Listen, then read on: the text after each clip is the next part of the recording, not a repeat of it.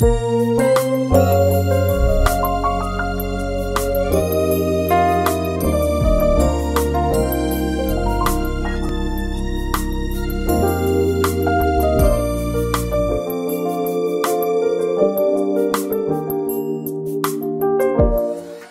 Welcome to Philadelphia Christian Church and thank you for joining us. We also want to welcome all those who are visiting with us for the first time.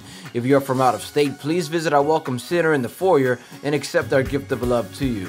Also, we are grateful to God for all of our online viewers all over America. May the peace of God be in your homes or wherever you are.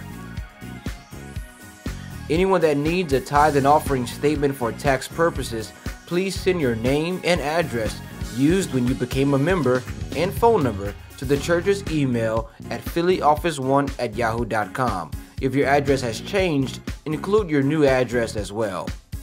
We'll be sending email copies during the month of January. This week, Philadelphia is Family Week.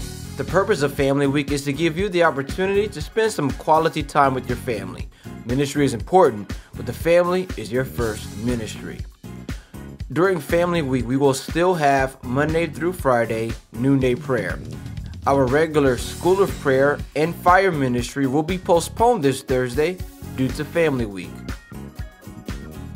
The HVL Hebrew Volleyball League has had some exciting games for the women and the men teams. Games are played on Saturdays at Progressive Gym. Come out and join us in the stands. Right now, it's time for your good news of the week. We want to give a shout out to all of the School of the Hebrew chapters being established in different parts of the country. There is now a chapter established in Detroit, Michigan. They've been doing some great fellowships and studies on different Hebrew nuggets.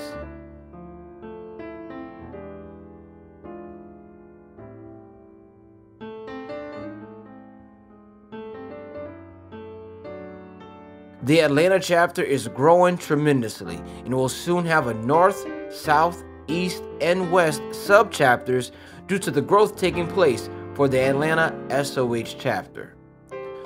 Birmingham, Alabama has a School of the Hebrews chapter and they are excited to be a part of this great awakening. A School of the Hebrews chapter has been set up in Raleigh, North Carolina as well.